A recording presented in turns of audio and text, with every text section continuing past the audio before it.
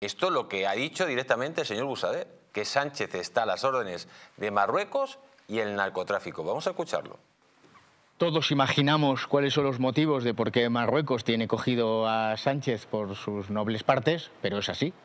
Y por tanto toda la política exterior de España cambió de golpe de un día para otro y con consecuencias muy graves eh, nacional. Es Sánchez el que ha decidido eh, ponerse a las órdenes del rey de Marruecos porque ahora mismo no sabemos quién gobierna España. Si formalmente es Sánchez, pero no sabemos si Sánchez simplemente es un fiduciario del narcotráfico de América. Ahora mismo la entrada de droga en España, la principal vía es precisamente desde eh, Marruecos, pero es droga que mucha viene de América, de esos cárteles donde Zapatero se mueve también, ¿eh? allí en, en Cuba, en Colombia, en Venezuela, etcétera, o si está a las órdenes del rey de Marruecos o a las órdenes de Otegui.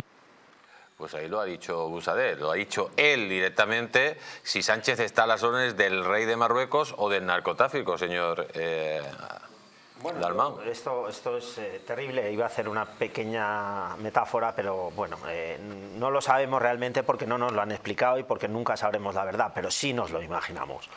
Eh, porque en este momento el presidente de gobierno está rendido ante Marruecos. Pero es que es cierto, es que es cierto lo que está diciendo Jorge y en este momento yo creo que no es que sea cierto porque lo digamos nosotros, sino que es cierto porque lo tenemos aquí. ¿no? Pero yo ahondando en, en dos conceptos importantes para mí.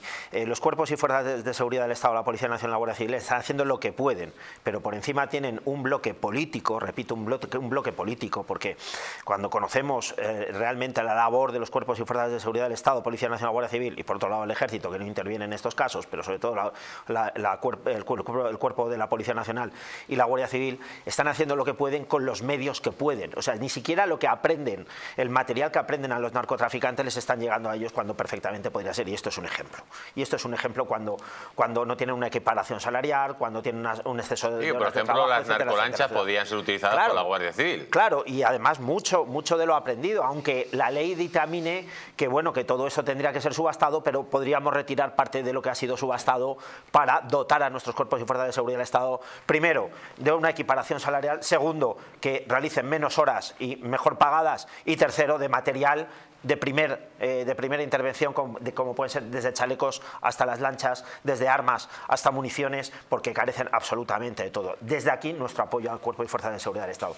Segundo, eh, el problema de Europa es tremendo. Antes yo lo decía, eh, Europa no está ni se le espera en esta lucha contra el narcotráfico y contra eh, la inmigración ilegal, sobre todo en este momento en el que estamos hablando del narcotráfico. Von der Leyen lo ha dejado muy claro.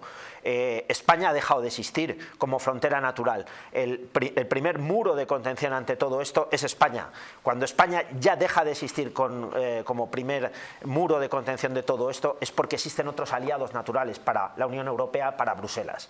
Y a mí es lo que me preocupa como eh, europeo, como occidental y como español, o como español, como europeo y como occidental. La realidad de España es que por unos la Unión Europea, por otros entidades supranacionales como pueden ser los Estados Unidos y por los de abajo que son Marruecos, Libia, Egipto, etcétera, como muy bien apuntabas, somos el blanco perfecto en este momento con un gobierno que es el que tenemos, que lo primero que hace es atentar, y repito la palabra, atentar directamente contra nuestros cuerpos y fuerzas de seguridad del Estado, porque ni se dignan, cuando asesinan vilmente en el estrecho, ni se dignan a ir a sus funerales. El, ministro del Interior, que le, le debería de dar vergüenza, no haber ido ni siquiera cuando han sido vilmente asesinados embistiendo con una lancha a nuestros propios funcionarios, porque son nuestros propios funcionarios de los cuerpos y fuerzas de seguridad del Estado, los que nos protegen a los ciudadanos. Entonces, lo que tenemos es eh, que España, como país, dentro de la órbita internacional y dentro de la órbita nacional, es que ha dejado de existir. Y eso no lo podemos tolerar los españoles.